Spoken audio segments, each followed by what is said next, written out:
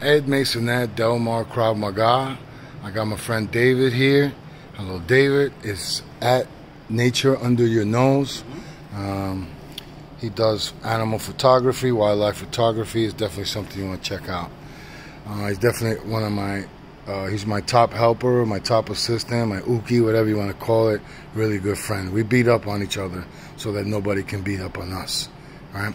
So we're gonna show a right punch, and I want you to throw a right punch and freeze, right? Freeze, boom. So already, let's look at all the details here. I just want to give you the whole package. Look at the knuckles here, out and sharp. If I come to the side, it's not a big flat punch. It's knuckles piercing on a nice straight line.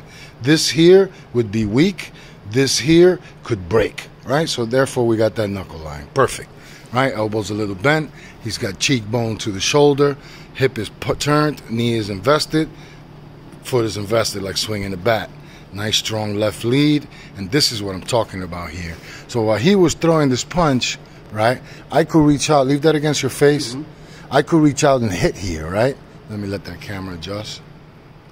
Boom, right here, right? Keep it out a little earlier. Bomb. See, he, got, he has to be ready for that while this is happening. Most times people have this hand hanging out somewhere. They never lifted it up and they threw a punch. And just because you punch doesn't mean I can't punch, right? Sorry for the weird video, but I'm just making that point. He threw the punch and boom, see the hand? He, boom, right there. That, boom, that hand has authority. Put it on your face, right? Put it over your eye. I could hit that a hundred times and he could pull that away and still see me.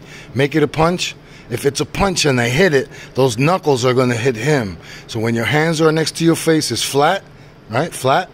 And then also this is here. While he was maybe throwing a strike, I could be attacking his rib cage with a nice kick or with a punch as well. All right, protecting the inside with the opposite hand. Thank you, David. Delmar Krav Maga, School of Life Defense. That's Tucker Boy Security.